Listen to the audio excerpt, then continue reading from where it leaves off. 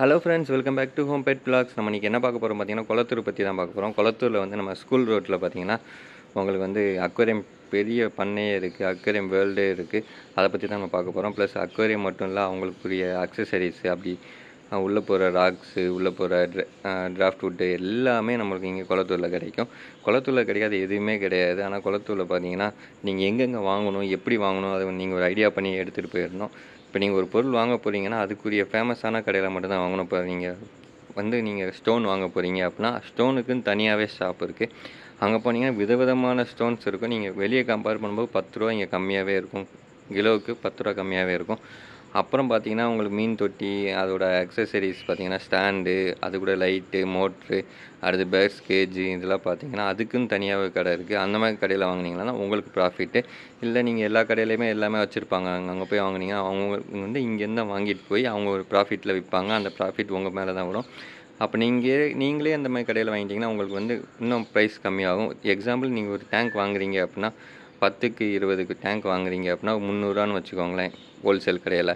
நீங்கள் ஒரு ரீட்டைல் கடையில் வாங்குறீங்க அப்படின்னா அங்கே நானூறுரூவா நானூற்றம்பது ரூபா சொல்லுவாங்க. ஆனால் உங்களுக்கு இங்கே வாங்கினீங்கன்னா முந்நூறுரூவா உங்களுக்கு நூற்றம்பது ரூபா லாபம்.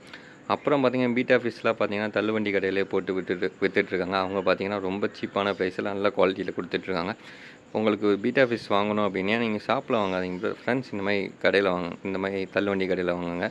உங்களுக்கு வாங்கும்போது பார்த்தீங்கன்னா உங்களுக்கு அவங்க ஷாப்பில் வச்சாங்கன்னா ஷாப்போட ப்ரைஸ் அவங்க அவங்களோட லேபர் காஸ்ட் எல்லாமே போட்டு தான் வைப்பாங்க இவங்களுக்கு பார்த்தீங்கன்னா அன்றாட போட்டு தள்ளுவண்டி தானே போய் போய் போயிடும் சேல்ஸ் போயிடும் அப்புறம் ஃப்ளவரான் பார்த்தீங்கன்னா உங்களுக்கு ஃப்ளவரான் வந்து இங்கே ஏகப்பட்ட வெரைட்டியில் இருக்குது ஆனால் ப்ரைஸ் வந்து கம்பேர் டு வந்து அதிகமாக தான் இருக்கும். ஏன்னா அவங்க ஷாப் நடத்துகிறாங்க அந்த ஷாப்லேருந்து வருமானத்தெல்லாம் ஷாப்பை கட் ஷாப்புக்கு வந்து வாடகை கொடுக்க முடியும். அந்த மாதிரி சுச்சுவேஷனில் இருக்காங்க. அப்புறம் பேர்ட்ஸ் பேர்ட்ஸ் பார்த்தீங்கன்னா பேர்ட்ஸுக்குன்னு இந்த கடையில் தனியாகவே இருக்குங்க. இங்கே பார்த்தீங்கன்னா லவ் பேர்ட்ஸ்லேருந்து சன் கண்ணூர் ஸ்மால் கண்ணூர் அப்புறம் பார்த்தீங்கன்னா புறா அடுத்து பஷியன் கிட்டன் சேவல் கோழி எல்லா வகையும் இருக்குங்க. இங்கே கிடைக்காது எதுவுமே இல்லை இந்த கடையில்.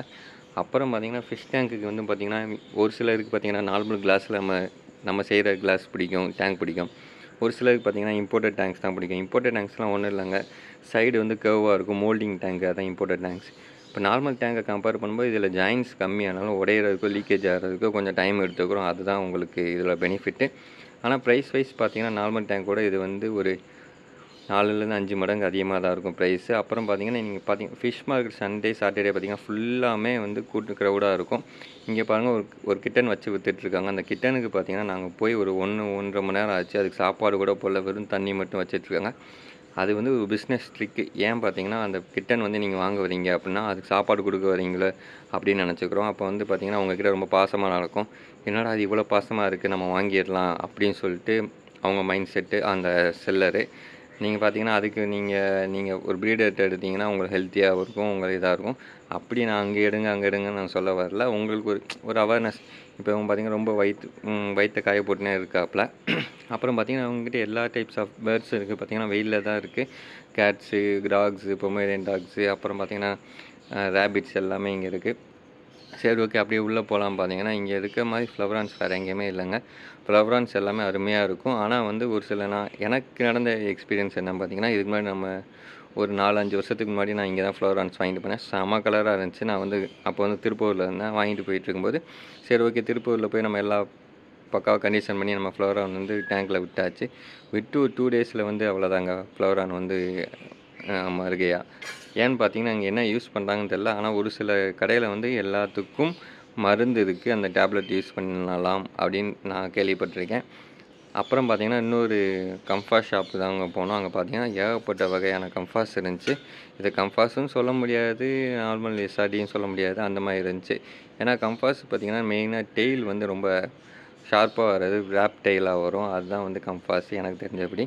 அப்புறம் பார்த்தீங்கன்னா உங்களுக்கு தாடை வாய் பகுதியும் வந்து ரெண்டுமே ஈக்குவலாக இருக்கும். இப்போ எஸ் சப்போஸ் நீங்கள் ஒரு ஃப்ளோரான் வாங்க போகிறீங்க அப்படின்னா எப்படி வாங்கணும்னு சொல்கிறேன் பாருங்கள் எஸ்ஆர்டிக்கு பார்த்தீங்கன்னா உங்களுக்கு வாய் தாடை வந்து பாட்டம் இது வெளியே இருக்கும் மேலே அது உள்ளே இருக்கும். அந்த மாதிரி இருக்கும் எஸ்ஆர்டிக்கு இப்போ கம்ஃபாக்ஸ் பார்த்தீங்கன்னா ரெண்டுமே வந்து சேமாக இருக்கும். வாய் தாடை வந்து ரெண்டுமே சேமாக இருக்கும். ப்ளஸ் வந்து உங்களுக்கு பாடி ஷேப் பார்த்தீங்கன்னா செம அருமையாக இருக்கும். கம்ஃபாஸ் பார்த்தீங்கன்னா ஒரு ரெக்டாங்கிளில் இருக்கும். ஆனால் இது பார்த்தீங்கன்னா ஸ்கொயரில் இருக்கும். இந்த மாதிரி உங்களுக்கு இன்ஃபர்மேஷன் பிடிச்சிருந்தா லைக் பண்ணுங்கள் ஷேர் பண்ணுங்கள் மறக்காம கமெண்ட் பண்ணுங்கள் ஃப்ரெண்ட்ஸ் பாய்